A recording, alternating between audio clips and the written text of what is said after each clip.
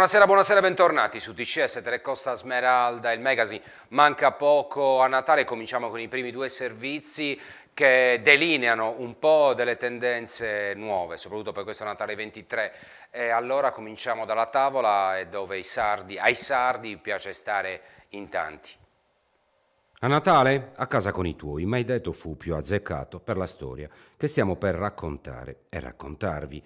Ai tuoi, inteso come parenti stretti e affini. Vi ricordate affini? Ma questa è un'altra storia, non natalizia.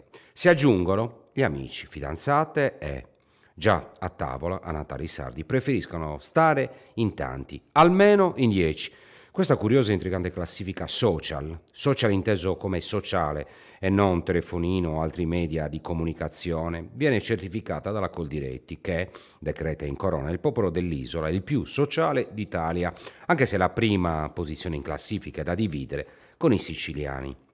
Altra curiosità, aggiungiamo la spesa. Qui per nulla curiosa, per i pranzi e cene si spenderà il 10% in più rispetto al Natale 2022.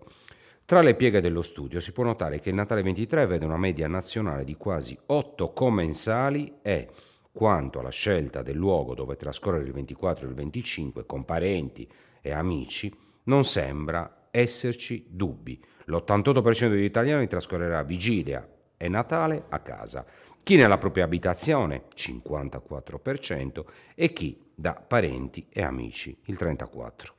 Una minoranza del 6% sceglierà invece un ristorante o un agriturismo, ma c'è anche un debole 6% che deciderà all'ultimo momento.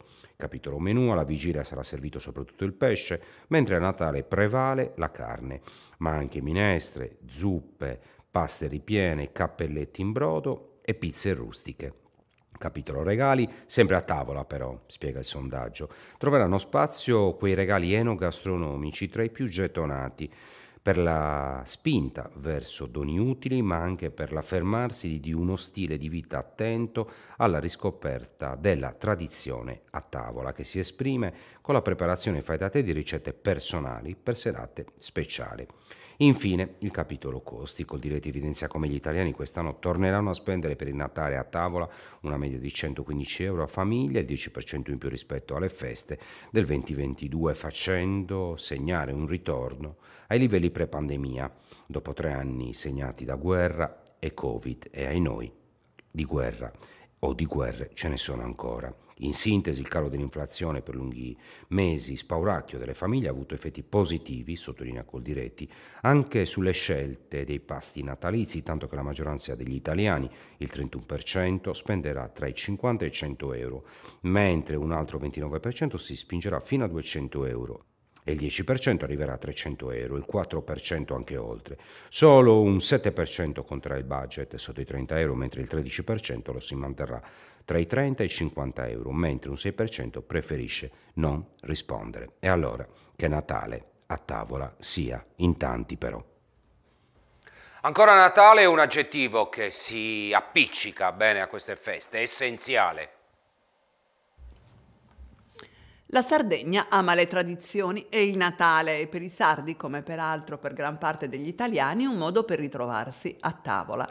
I menù della tradizione per le coppie più giovani spesso sono soppiantati da altre ricette, magari frutto di mescolanze, di culture di sapori, ricette fusion ed ecco che nell'impasto entra l'avocado e la pasta assume il colore scuro tipico dei prodotti integrali. Qualcuno mangia il seitan e altri una torta di verdure al posto della carne d'agnello o maialetto, menù che hanno un denominatore comune, il risparmio. Almeno per la maggior parte degli italiani, infatti, anche quest'anno, forse più degli anni passati, si sente il peso dell'inflazione. Si è arrivati al Natale in apnea, con tanti conti da pagare e uno stipendio, compresa la tredicesima, che serve più a compensare i costi sostenuti per le bollette, le tasse e le imposte.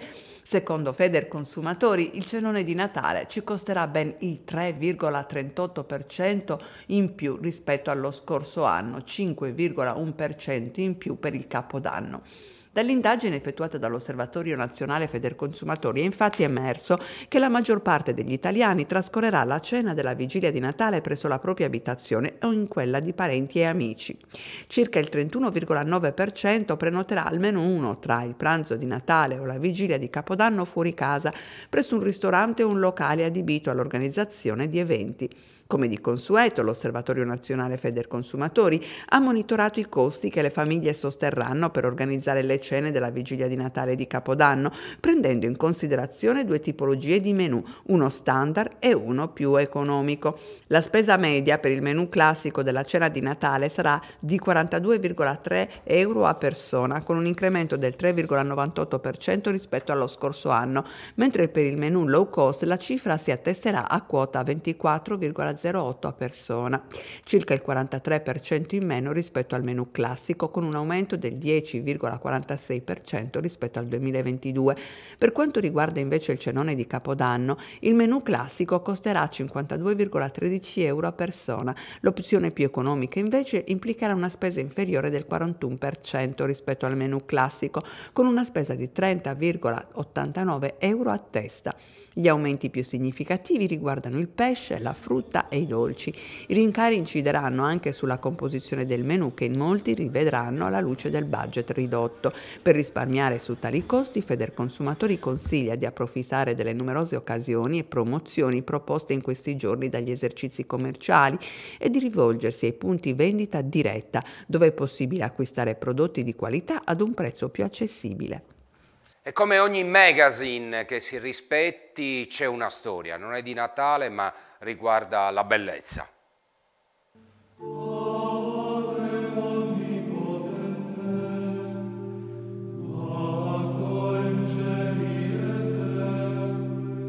Ritorna a nuova vita il chiostro della chiesa e convento di San Domenico a Cagliari, risalente al periodo gotico aragonese. Costruito a spese dei sovrani d'Aragona nel XV secolo, il chiostro e la cripta adiacente rappresentano quanto è sopravvissuto del complesso monumentale distrutto dai bombardamenti del 1943. Una serie di interventi negli anni, già a partire dalla fine dell'Ottocento, hanno preservato alcune strutture originarie, ma non hanno risparmiato l'antica chiesa, compresa, una volta a 17 chiavi, considerata nel suo genere la più grande del Mediterraneo. Oggi si completa una parte del restauro del chiostro di San Domenico, un restauro esemplare che riesce ad offrirci in maniera chiara e nitida l'immagine di uno dei siti più importanti per l'architettura gotica in Sardegna. E se oggi i cagliaritani possono riappropriarsi di questo significativo esempio di architettura medievale nel cuore della città, il merito è certamente dei lavori di restauro che in particolare in questa seconda fase completata in soli sei mesi hanno interessato sei campate del braccio ovest.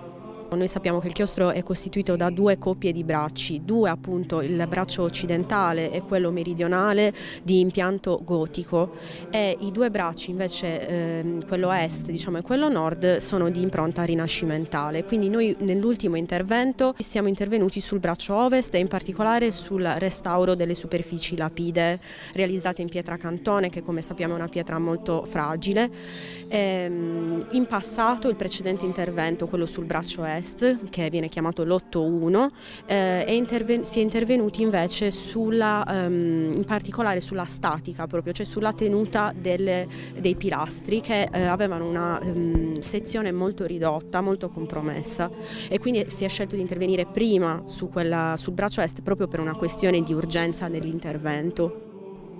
Un restauro esemplare che ha restituito, agendo sulla pietra cantone, un'immagine nitida e chiara delle lavorazioni presenti su una delle zone più antiche del chiostro e che racchiude gli stilemi dell'architettura gotica così da apprezzare ancor di più gli elementi caratterizzanti dell'intero complesso di San Domenico. Il chiostro di San Domenico è mm, uno dei, dei complessi eh, monastici più importanti di Sardegna e direi anche del Mediterraneo. Eh, intanto per il suo stato di conservazione perché il chiostro grazie anche a diversi interventi e dispositivi di tutela mm, sin dal 1897 ha potuto conservarsi e, e quindi eh, rappresenta veramente una testimonianza, eh, una testimonianza originaria di quella che era l'architettura gotico-aragonese che ha caratterizzato eh, la Sardegna e il Mediterraneo Mediterraneo aragonese. Cosa manca ancora per restituire a questo luogo tutta la sua bellezza? Eh, siamo solo all'inizio di questo processo di conservazione e restauro, dobbiamo ancora mettere mano al braccio sud che è un altro braccio di questo chiostro sempre in architettura gotico-catalana che ha assolutamente bisogno di restauro, dobbiamo eh, mettere mano alla, alla, cappella di San Pietro e anche alla chiesa, quindi diciamo che noi oggi abbiamo valutato con i colleghi tecnici di soprintendenza di avere una necessità di almeno 2 milioni di euro ancora che stiamo eh, cercando di intercettare con le risorse ministeriali deputate proprio alla conservazione del patrimonio culturale.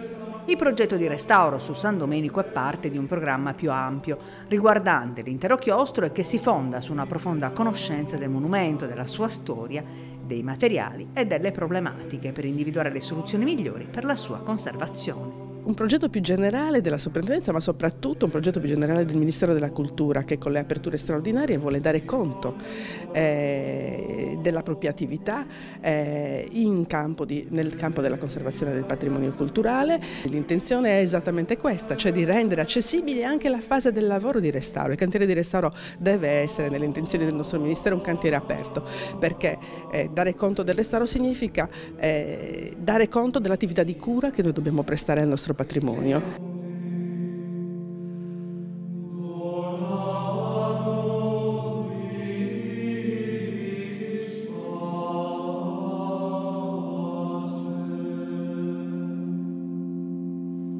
Intanto a Quartu una mostra sul barocco nell'ex convento dei Cappuccini.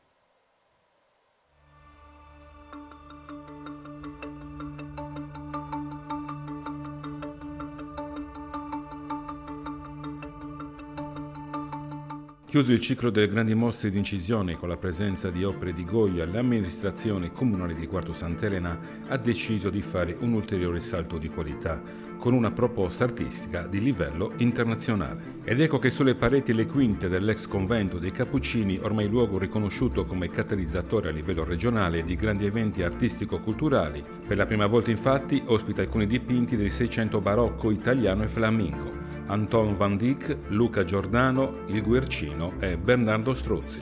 La prestigiosa mostra sarà fruibile fino all'8 gennaio.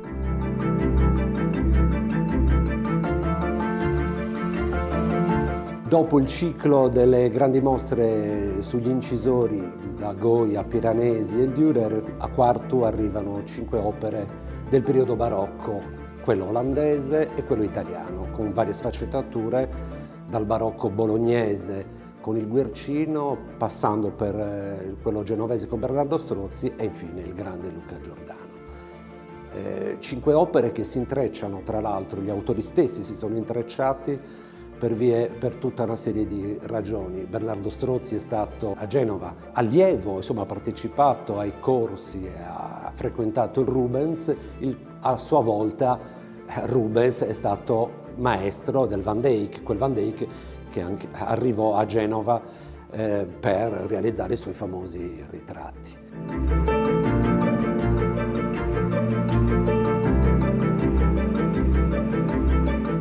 Questa mostra, oltre al barocco, abbiamo voluto giocare con i falsi d'autore, ecco perché il titolo è Autentici, appunto sono queste cinque opere, ed Epigoni, ovvero sono questi autori, artisti contemporanei, chiaramente viventi, che in un percorso loro precedente facevano i cosiddetti falsi d'autore, quelli certificati, quelli dove appunto hanno il patentino, questi artisti per entrare a Palazzo Barberini o anche al Museo Capodimonte, Villa Borghese, dove, per realizzare appunto questi, questi falsi d'autore. E qui giochiamo appunto su, sull'ambiguità e, e, lo estendiamo anche al concetto eh, che riguarda anche il mercato dell'arte, dove appunto i falsi eh, hanno fatto anche un po' la storia, la storia dell'arte.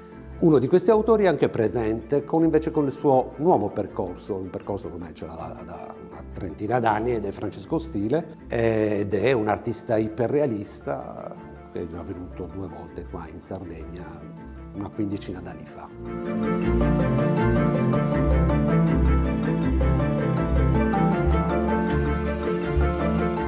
Ma il barocco perché si presta, si presta come dicevo prima perché gli artisti eh, i cosiddetti quelli che fanno i falsi d'autore lavorano molto appunto sulle opere, sulle opere del barocco. E poi ci dà, è anche un periodo straordinario, viene dopo il Rinascimento e c'è questa nuova forza, questa nuova vitalità nel mondo dell'arte che appunto abbraccia quello che è il cosiddetto secolo d'oro, soprattutto in Olanda, ma anche in Spagna e, in Italia.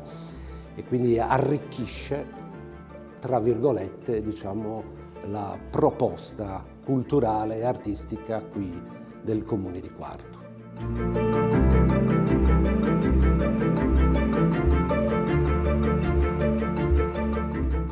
Bene, io termino qua, vi do appuntamento alle prossime edizioni con il nostro magazine.